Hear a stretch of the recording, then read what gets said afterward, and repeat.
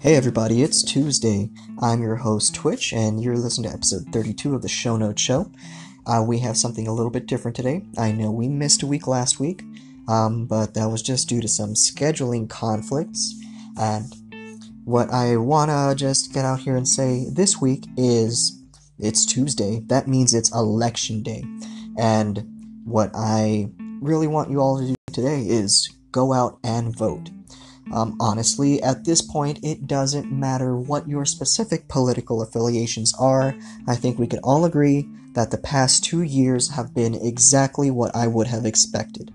And if you're looking at that from my perspective, then the state of the world and our country especially is in need of some dire course correction.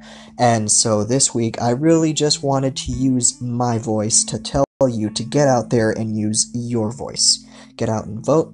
If you are a legal adult with a valid ID, chances are you are already registered to vote. The internet will make it very easy to check that.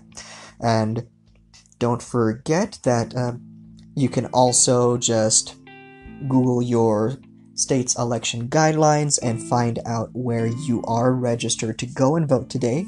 Just be sure that you make the time to get out there and make your voice heard. And to wrap it all up tonight, I just want to let you all know that um, appreciate you listening to the Show Note Show.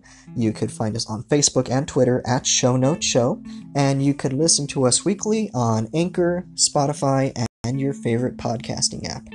Get out there and vote.